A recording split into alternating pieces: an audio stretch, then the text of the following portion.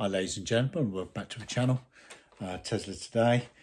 I just want to go over the new price increase from um, Tesla, putting the performance uh, model, what I have, up to just over £60,000. Um, I think these prices are going to be dropping in December. December is the key month. Reasons why. Um, China is uh, sales are down to 74,000 for uh, September um, are down from 84,000 in August, probably because people are waiting for the new Model Y to come out with Juniper. Um, but there are some uh, improvements already. There's a new dash, a new motor, evidently, um, with some more uh, range, and there's new ambient lighting as well. So um, if you're going to order a Model Y now, check which one you're getting from China. Has it got these new improvements? The biggest month for sales is December.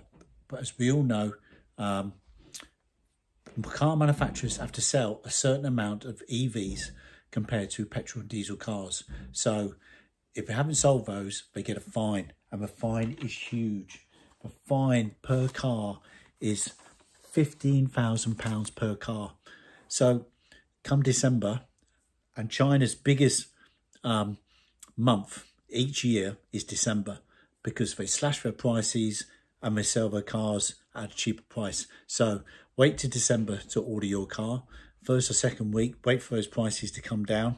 Uh, Tesla are going to slash their prices, I'm sure. Uh, you're paying a premium price at the moment. If you can't wait, then fair enough, you're still getting a fantastic car um, and worth every penny compared to other cars, I think, on the market, uh, the same sort of um, uh, SUV.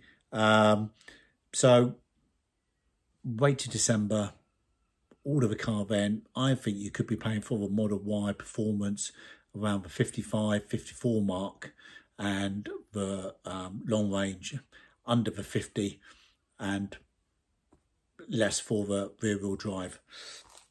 So it's worth that wait to save yourself a few thousand pounds.